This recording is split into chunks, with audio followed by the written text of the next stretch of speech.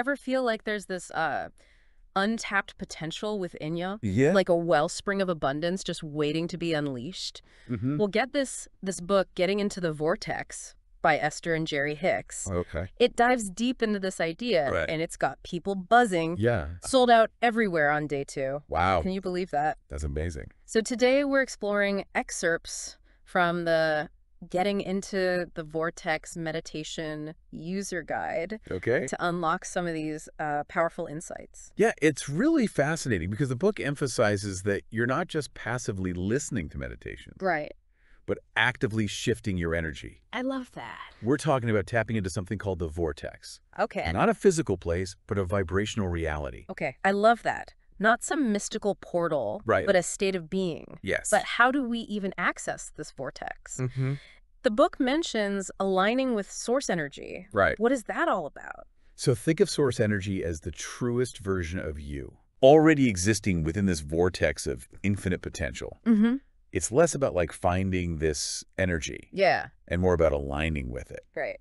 The book uses the analogy of a radio. Okay. You've got to tune your dial to the right frequency. Right. To tap into the abundance that's already there. So we're all walking around with these internal radios then. Yeah. But most of us just haven't figured out how to tune into the right station yet. Exactly. And one of the simplest tools they offer is something we literally do every minute of everyday breathing. Exactly.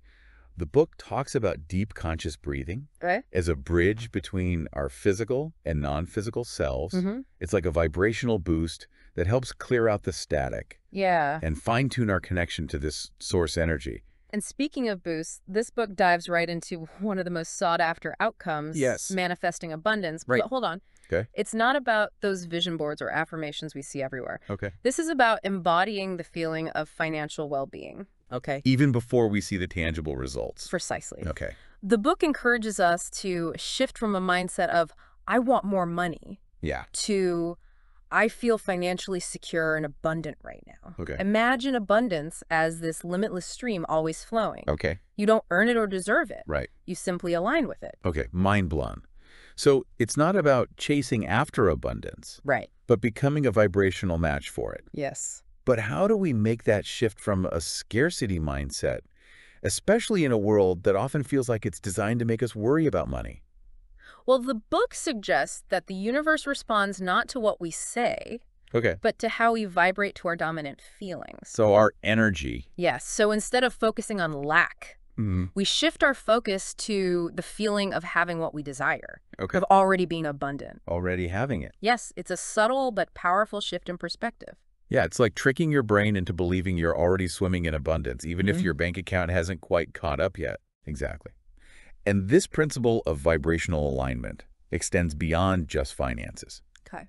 The book highlights how our relationships also serve as mirrors, Mm-hmm. reflecting our inner world back to us. Oh, this is so relatable. Like when we attract the same type of partner or friend over and over again, Right. it's probably showing us something about our own patterns and beliefs. Exactly. Okay. And this is where it gets really interesting. Okay. The book suggests that other people's behavior doesn't actually have the power to negatively affect us Okay. unless we allow it. Wait, hold on. Okay. Are you saying that other people's actions don't impact us at all? Not directly. No. Okay. It's about understanding that we get to choose our reactions, Mm. to decide how we interpret and respond to what others do. Okay.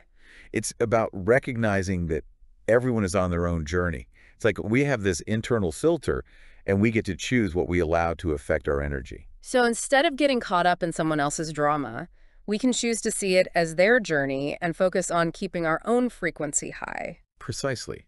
And this doesn't mean ignoring problems or pretending everything's perfect. Right. It's about shining a spotlight on the positive, seeing the potential for growth and evolution in ourselves and others. It's about recognizing that inner shift creates outer change. Now, the book delves into specific practices for cultivating this high vibe energy, particularly through meditation. It sounds almost too simple, but they emphasize the power of focusing on your breath. What's remarkable is how they use breath work to quiet the mind and release resistance. Because resistance, those limiting beliefs and doubts, that's what prevents us from aligning with source energy and tapping into the vortex. So it's like our breath is the key that unlocks the door to this limitless potential. Absolutely. By focusing on the simple act of breathing, we shift from the constant chatter of our minds to the present moment. And in that stillness, in that space of allowing, we begin to align with our true nature, our source energy. It's like hitting the reset button on our energy, creating a clean slate for abundance to flow in.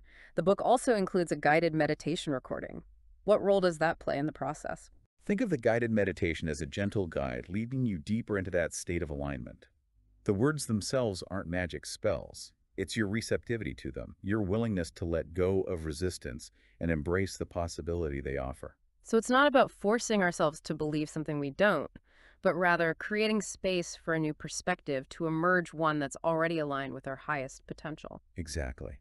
And the book suggests that with consistent practice, even just 15 minutes a day, you'll start to notice subtle shifts in your thoughts, your feelings, and even your experiences. You know what I appreciate is that this approach feels joyful and empowering.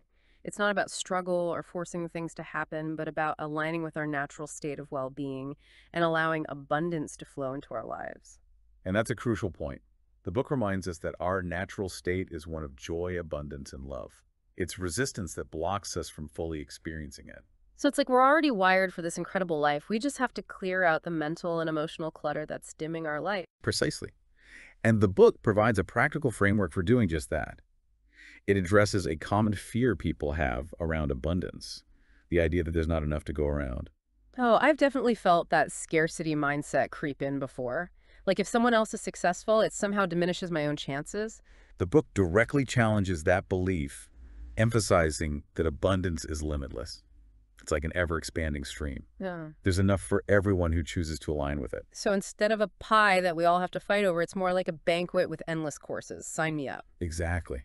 And it goes even further suggesting that when we celebrate the success of others, we actually amplify our own ability to attract abundance. Mm. It's about moving from competition to collaboration, recognizing that we all benefit when we support each other's growth. It's like this beautiful cycle of abundance. The more we focus on the good that's already present in our own lives and the lives of others, the more we open ourselves to receiving even more good. Exactly. We're all interconnected, and when one of us thrives, we all thrive. Okay, so we've talked about abundance in terms of finances and relationships, but what about our physical well-being? Does the Vortex have any insights to offer in that area? Absolutely. The book emphasizes the undeniable connection between our thoughts, Mm. emotions, and physical health. Huh. Our bodies are constantly responding to our vibrational frequency. So if we're constantly stressed, worried, or focused on negativity, our bodies will reflect that. Precisely. The book suggests that disease is essentially a dis-ease, a disharmony in our vibrational frequency. Just like aligning with the vortex can attract abundance and fulfilling relationships, it can also promote physical health and vitality. It's like we have this innate capacity for healing and well-being, Mhm. but our thoughts and emotions can either amplify or suppress that capacity. Exactly. And the book encourages us to approach physical well-being not just through diet and exercise, but also through cultivating a positive mindset, practicing gratitude, and aligning with that source energy that is inherently whole and healthy. So it's not just about what we're putting into our bottles, but also about the energy we're cultivating within them. What I'm hearing is that it's this holistic approach to well-being, where our thoughts, emotions, and physical health are all interconnected. You've got it. It's about recognizing that our bodies have an innate intelligence, yeah. an ability to heal and thrive. Yeah. And the more we can align with that, the more we support our body's natural healing process. Now, I know some people might be skeptical about all of this. They might be thinking, okay, this sounds great in theory, but how do I know it really works? What would you say to those folks? The book encourages a spirit of open-minded experimentation. Don't just take their word for it. Try it yourself and see what unfolds. Mm. Pay attention to the subtle shifts in your energy, your experiences, and your overall sense of well-being. It's about becoming your own scientist, observing the results of this vibrational experiment called life. Now, as much as I'd love to keep exploring this rabbit hole of infinite possibility, Yeah. we do want to honor your time and wrap up this deep dive. Okay. But before we go, there's one more gem from this book that really struck me. It's this idea that life is meant for conscious, aware, joyous living. Such a powerful reminder. Yeah. It's about savoring the journey. You Yeah, know? yeah, yeah. Not just racing towards some distant finish line. Exactly. Finding joy in those everyday moments, Yeah. the simple things, the connections we share. Right. That's what truly makes life rich. It's Mhm. about embracing it all, you know? Yeah. The ups and the downs. Right. Knowing there's always something to be grateful for, something to celebrate. And that shift in perspective can be truly transformative no matter what challenges we face. Right. It's about aligning with that frequency of joy, allowing it to permeate every aspect of our experience. Speaking of perspective, what really resonated with you from these excerpts? You know, the emphasis on personal responsibility truly hit home for me. Okay.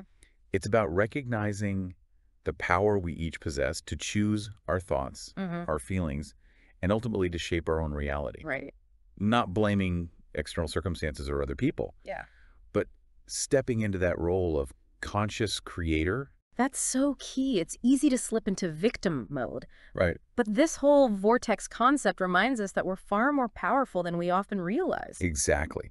We always have a choice in how we respond to challenges. Hmm. Even in the midst of difficulty, there's a seed of possibility, Yeah. a chance for growth and transformation. It's about finding that glimmer of light, even in the darkest of times, and fanning it into a flame. Yes. And as we do that for ourselves, we inevitably light the way for others, too. Beautifully said.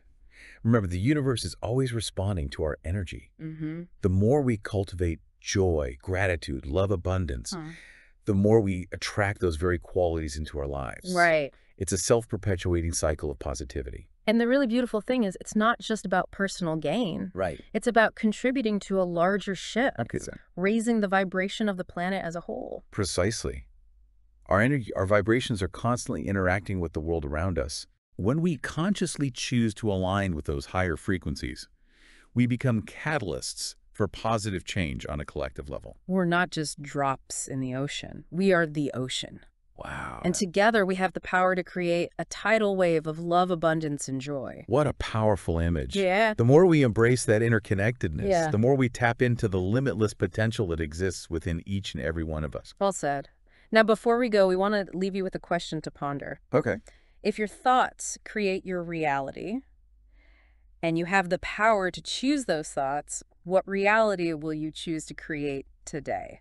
Let that question be your guide as you move through the world today. Mm-hmm. And remember, the journey of aligning with the vortex of stepping into your full potential is an ongoing exploration. Right. Be kind to yourself, stay curious, and never underestimate the power you possess to create a life filled with joy, abundance, and limitless possibilities. We couldn't have said it better ourselves. If this deep dive has piqued your interest, definitely check out Getting into the Vortex by Esther and Jerry Hicks, along with the accompanying meditation recording. You might be surprised at the shifts you experience. It's a journey worth taking. Dive in with an open mind and a heart full of possibility. And as always, thank you for joining us on this deep dive. Until next time, keep exploring, keep expanding, and keep shining your light.